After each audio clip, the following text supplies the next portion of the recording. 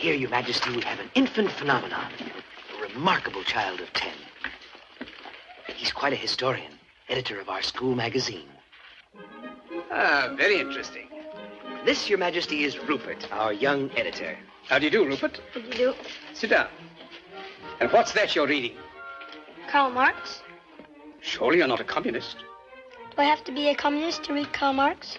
Rupert, That's a valid answer.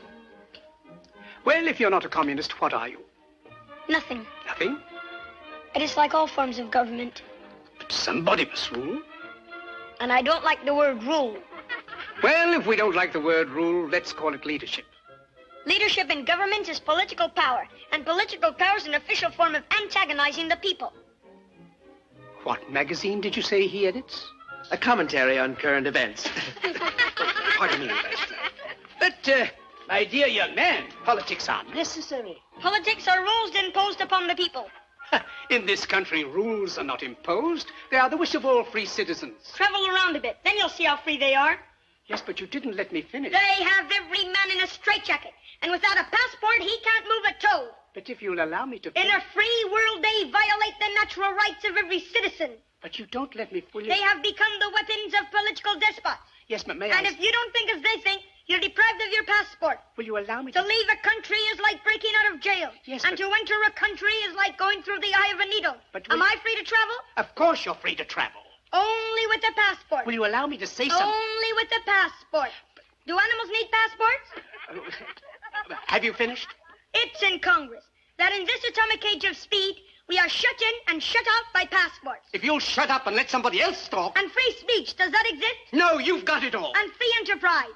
We were talking of passports. Today, it's all monopoly. All right. Now will you... Can I go me- into the automobile business and compete with the Auto Trust? If I can get in a word... Not a chance. Can I go into the grocery business and compete with the chain stores? Will you shut up? Not a chance. Monopoly is the menace of free enterprise. As I look back 60 years ago, Where were you 60 years ago? he was a glint in his great grandfather's eye. Very well now. Have you finished? Now let me say something. Let me tell you how wrong you are. In the first place. In the first place. Now I've forgotten what I wanted to say. And the atomic bomb. Ah. It's a crime that when the world cries for atomic energy, Bravo. you want to make atomic bombs. Me? I'm against atomic bombs. You want to wipe out civilization, destroy all life on this planet. You don't think you're living in the night? I lost.